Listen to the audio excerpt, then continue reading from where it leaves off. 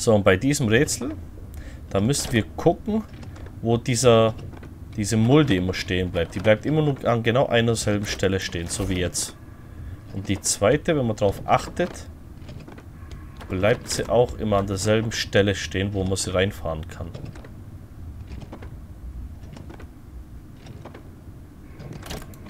Und zack. So, und die ist hier stehen geblieben. Das heißt, jetzt müssen wir hier warten.